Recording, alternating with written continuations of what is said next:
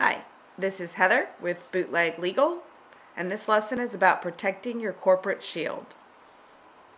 So, you've decided to become a corporation or to become an LLC, um, and you've done that largely, I assume, to protect your personal assets, right? To make sure that there's a shield. Um, they call it both the corporate shield and the corporate veil in case law. Um, but you want to make sure you've got that shield between your business liabilities and your personal assets so that if the worst happens with your business, um, that somebody can't pursue collection against your personal assets. Um, so the step number one, obviously, is filing um, the articles of organization, articles of incorporation. Depending on the state, it might be called certificate of incorporation and certificate of organization.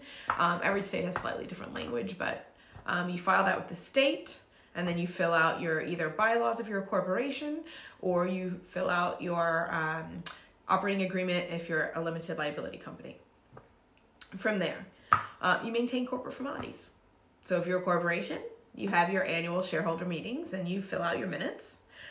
If you're a limited liability company, you really don't have to do a lot of day to day or even, I mean, sorry, year to year corporate maintenance, other than maybe filing statements of information every two years in California. I'm not sure what it is in most states.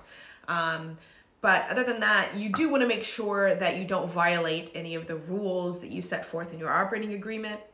For instance, if you put the rule out there that, or in there, that in order for somebody to, you know, spend $5,000 of the company's resources, they need to get approval of at least two other members or majority approval or even, you know, for large expenditures exceeding, you know, $100,000, you need to get unanimous consent of all of the members, whatever rules you set up for that and for other things, um, you want to make sure you follow them, right?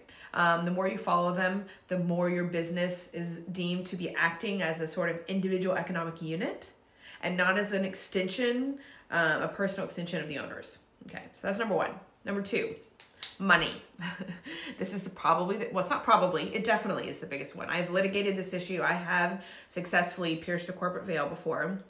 And the number one aspect that courts will look at when determining whether to pierce a corporate veil is adequate capitalization.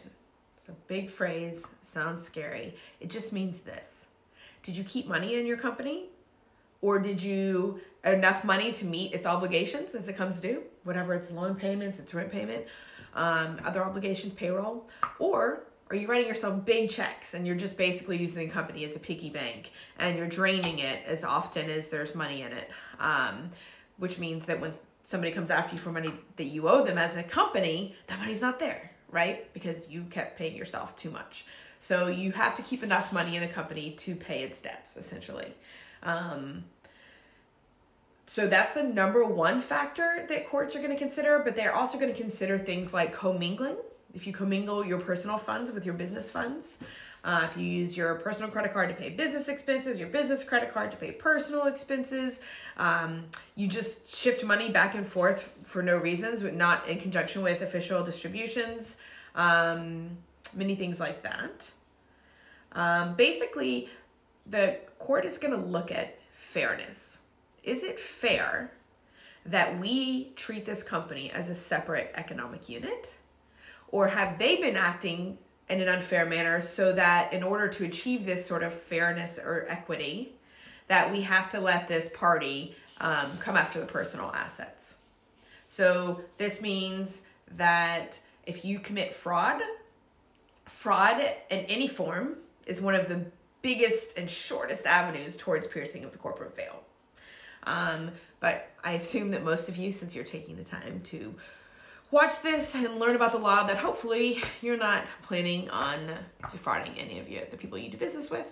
Um, and so if I were you, I would focus mostly on observing corporate formalities, um, not commingling funds, and keeping enough money in your business as the business obligations become due.